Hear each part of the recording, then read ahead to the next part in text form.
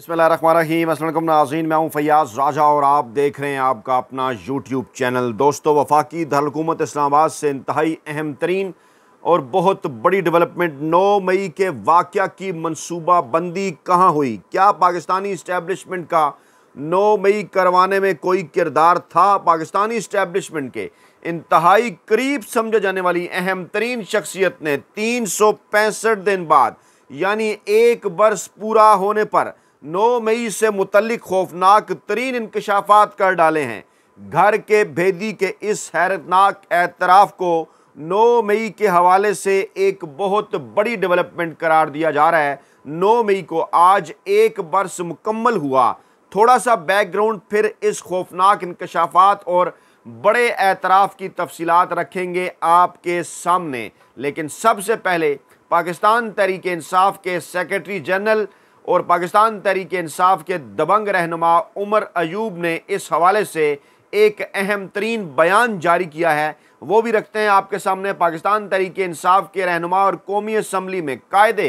Hijab इख्तलाफ उमर अयूब ने कहा है कि हमारा वन पॉइंट एजेंडा, आइन और कानून की बालादस्ती है। नौ मई एक साजिश थी जिसका निशाना इमरान खान थे। इस्लामाबाद में तहरीक तहफ़ आयन पाकिस्तान के जेर तमाम सेमिनार से खिताब करते हुए उमर अयूब का कहना था कि इमरान खान ने कहा है, आवाम को बताएँ कि आइन और कानून पर किसी किस्म की सौदाबाजी नहीं होगी।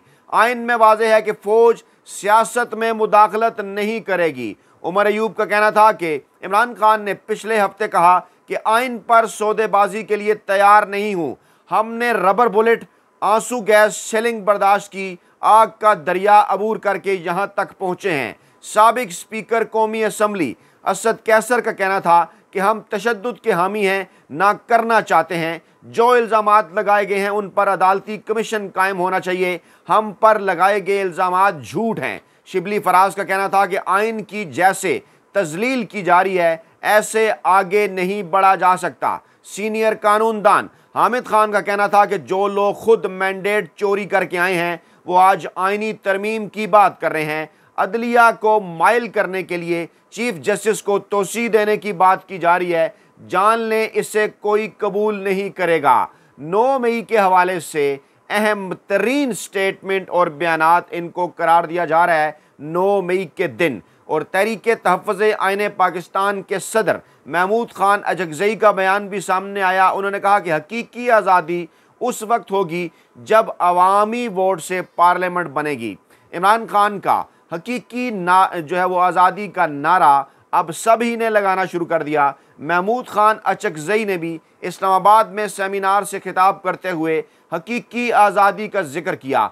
उन्होंने कहा कि बानी पीटीआई मुल्क की सबसे मकबूल तरीन जमात का लीडर है। मैं रिपीट कर रहा हूँ, उन्होंने कहा, इमरान खान पाकिस्तान की सबसे मकबूल तरीन अवामी सियासी जमात का लीडर है। रिहा करो की बात नहीं, रिहा करना पड़ेगा। रिहा करो की बात नहीं, रिहा करना पड़ेगा। महमूद खान जगजई ने कहा कि हकीकी आज़ादी उस वक्त होगी जब अवामी वोट से पार्लियामेंट बनेगी, जब मुल्क में किसी फ़िरके का झगड़ा या या बालादस्ती नहीं, बल्कि आज़ादी होगी। हकीकी आज़ादी मुल्क में तब आएगी जब आवाम की मुंतब हुकूमत आएगी। महमूद खान चकजई का कहना था कि दुनिया भर का ख़जाना होने के बावजूद हम फ़कीर बन चुके हैं। जिन नेमतों का सूर रहमान में ज़िक्र है, वो पाकिस्तान में भी हैं, फिर भी हम क्यों भूखे हैं? असलाहत करना होगी और तब्दीली लाना होगी। अहम तरीन मौका, अहम तरीन मामले के ऊपर अमरीकी तर्जमान का बयान भी सामने, क्योंकि कल से मुख्तलिफ़ किस्म की ख़बरें ज़ेर गर्दिश हैं, जिसमें यह भी कहा गया है, मुशाहिद हुसैन साहब की जानब से कि बहुत जल्द अमरीका की जानब से काल आ जाएगी उससे पहले इमरान खान को रिहा कर दिया जाए। अमरीकी तर्जुमान ने कहा कि इमरान खान की गिरफ्तारी से मुतलक अमरीका की कोई पोजीशन नहीं है। ये वो मामला हैं जिनका फ़ैसला पाकिस्तानी हुकूमत को करना है। लेकिन अमरीकी तर्जमान भी वही कहेंगे, जहरी बात है, जो उन्हें उनकी इस्टेबलिशमेंट कहेगी मामला अंदर खाते क्या चल रहे हैं, वो अमरीकी और पाकिस्तानी इस्टेबलिशमेंट के दरमियान है। उन्होंने कहा, जनाब, हुकूमत पाकिस्तान के साथ मिलकर काम करना चाहते हैं, लेकिन ये मामला पाकिस्तान का अंदरूनी है। लेकिन क्या वाकई पाकिस्तान का अंदरूनी मामला तो ये है लेकिन पाकिस्तान के हर अंदरूनी मामले के अंदर मुदाखलत करने वाला अमरीका, जैसे मिसाल के तौर पर हुकूमत की तब्दीली पाकिस्तान का अंदरूनी मामला था, लेकिन जिस तरह से तरीके अदम अतमाद का जो है वो सारा खेल खेला गया, जिस तरह से अमेरिका की जानब से मुदाखलत हुई, उस वक्त की पाकिस्तानी इस्टेबलिशमेंट को अलाइन किया गया, तमाम तर सियासी जमातों को अलाइन किया गया, लेकिन उसके बाद फिर जो कुछ हुआ वो आपके सामने है। ना ही तो इमरान खान को हटाकर कोई स्टेबल हुकूमत बन सकी, ना ही मुल्क के अंदर सियासी इसकाम के साथ साथ कोई मुआशी इसकाम लाया जा सका। नौ मई के हवाले से बात की जा रही है कि जनाब नौ मई के किरदारों को सज़ा दी जाए तो पहले ज़रा आपके सामने एक तफसील ये भी रखें कि पाकिस्तान के अंदर आखिरकार मई के महीने में और क्या क्या हुआ है। बाकी ग्यारह महीने तो आप छोड़ दें ना। वो जो कहते हैं कि नौ मई को जनाब जो है वो किरदारों को सामने लाया जाए। कल डी जी ने कहा, किरदारों को सज़ा दी जाए। सामने नहीं, उन्होंने कहा, सज़ा दी जाए। बकौल उनके, वो तो उनके पास सबूत हैं। तो ज़रा सामने रखते हैं कि 12 मई 2007 से एक रात पहले इंसानी हकूक़ की एक बड़ी आवाज़ आसमा जहांगीर ने लंदन फूल करके, लंदन फ़ोन करके एम के एम की क्यादत से 40 मिनट गुफ्तु की। उन्हें समझाने की कोशिश की कि कल, यानी 11 मई को 11 मई 2007 को क्या खेल खेला जाने वाला है, जिसका सारा इल्ज़ाम आप लोगों पर होगा। चाल में ना आए, लेकिन अभी ये काल ख़त्म नहीं हुई थी कि एक आला अफसर की काल आई। आला अफसर, जी हाँ किसकी तरफ़ इशारा है? जराए का दावा है पाकिस्तानी इस्टेबलिशमेंट के।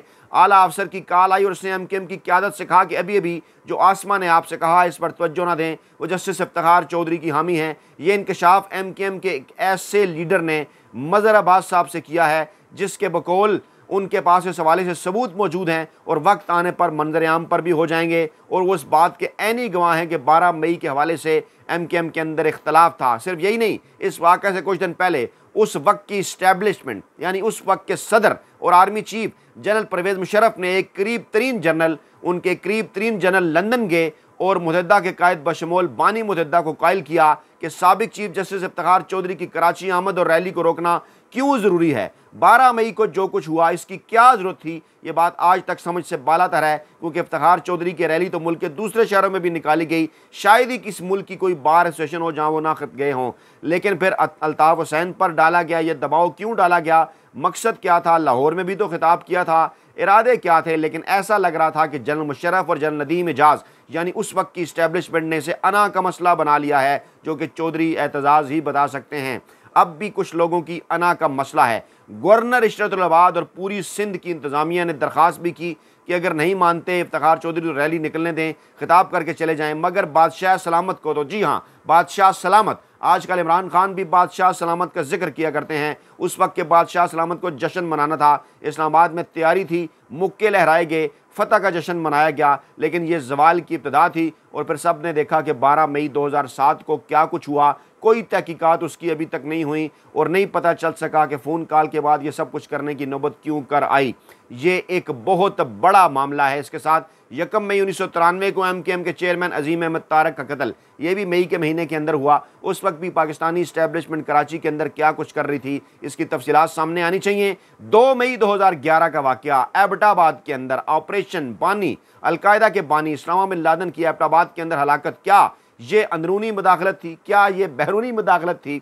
इसके ऊपर भी तो बात करना चाहिए। कभी रमजी यूसुफ को ले गए, कभी एमल कांसी को ले गए, कभी रेमन डेवस को ले गए, कभी डॉक्टर आफिया को ले गए, कभी उसामा को हलाक करके चले गए और शायद किसी दिन शकील आफरीदी को भी ले जाएँ। लेकिन क्या ये पाकिस्तान के मामला के अंदर मुदाखलत नहीं? इनके ऊपर क्या कमीशन नहीं बनना चाहिए?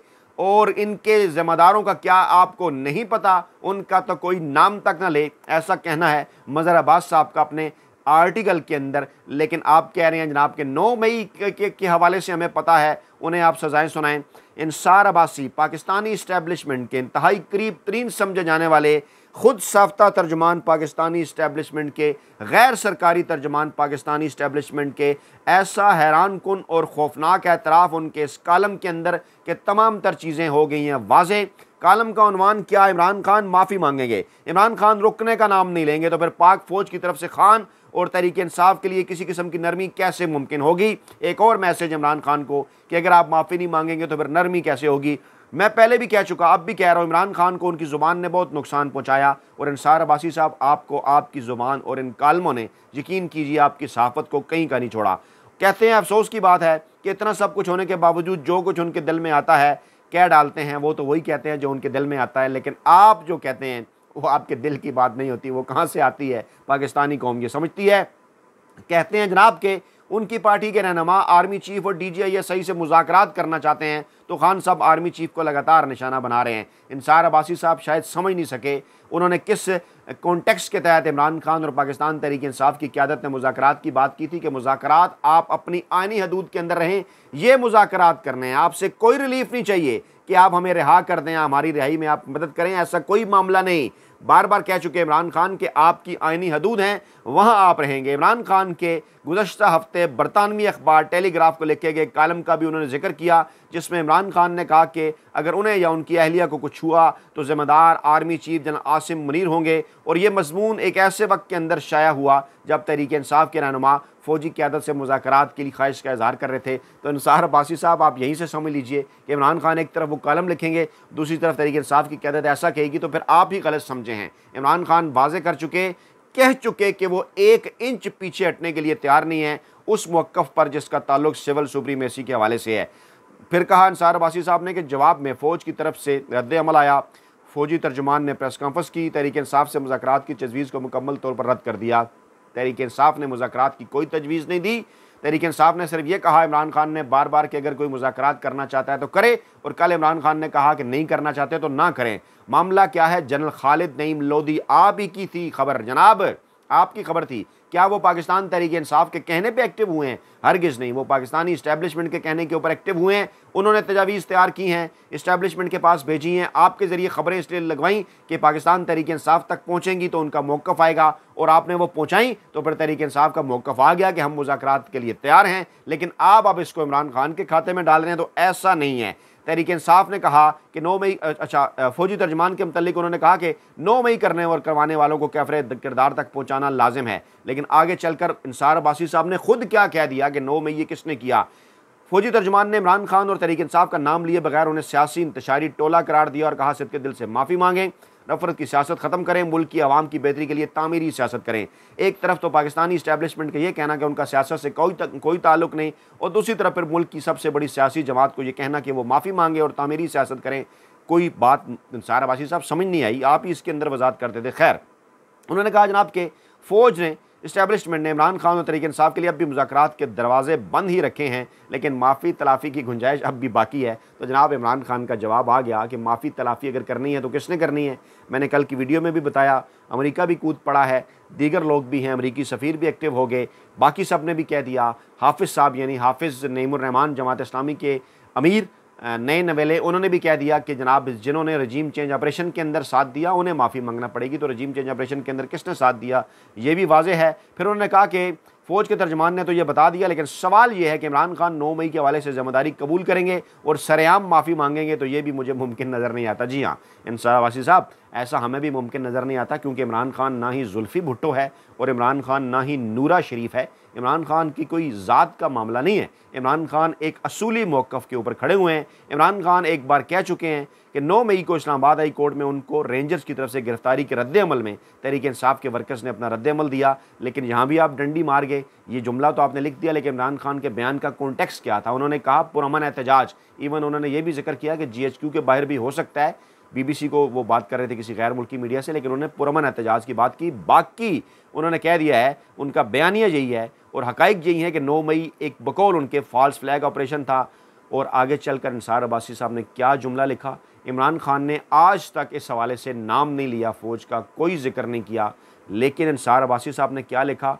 नौ मई एक फॉल्स फ्लैग ऑपरेशन था यानी फ़ौज की तरफ़ से ख़ुद किया गया ताकि तरीके इंसाफ को कुचला जा सके।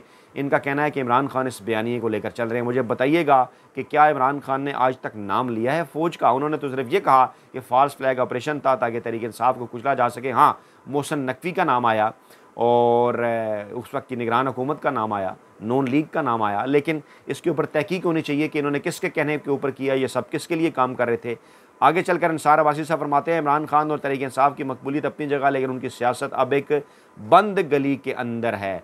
ये तो आप फरमा रहे हैं इंसार अबासी साहब, पाकिस्तानी अवाम ने 8 फरवरी 2024 को घरों से निकल कर इतनी बड़ी तादाद में पाकिस्तान तरीके इंसाफ को वोट दिया है कि उस बंद गली में से ही रास्ता निकाल लिया है। पाकिस्तान तरीके इंसाफ ने अब ज़बरदस्ती उस रास्ते को अगर कोई बंद कर ले, फार्म 47 की मदद से तो ये एक और मामला है। लेकिन जनाब, कहना आपको यह है कि अदलिया खड़ी हो चुकी है, अदलिया उठ चुकी है। नबे फ़ीसद जज साहबान वाज़ा तौर पर इस मौक़ के हामी हैं कि अब किसी किस्म की कोई मुदाखलत जो है वो बर्दाश्त नहीं की जाएगी। लेकिन आज के दिन का एक बड़ा इंकशाफ इंसार अबासी साहब, आप घर के बेदी भी हैं। क्या इसे दिल का चोर कहा जाए? जो ये जुमला आपने लिख दिया कि जनाब फॉल्स फ्लैग ऑपरेशन है फ़ौज ने खुद किया। ताकि इमरान खान को कुचला जा सके। ये आपने लिखा है, ऐसा इमरान खान ने कभी नहीं कहा। अपना बहुत ख्याल रखेगा दो में याद रखेगा नई वीडियो के साथ जल्द हाजिर होंगे। अल्लाह ने के बाद।